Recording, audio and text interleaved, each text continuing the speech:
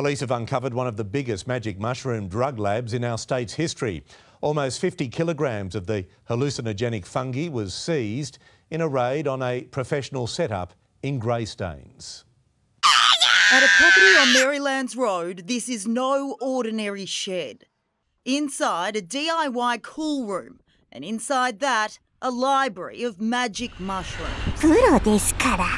There was just a small padlock protecting the psychedelic stash seven hundred thousand dollars. Um, on on record, this is one of the largest ones ever seized in New South Wales.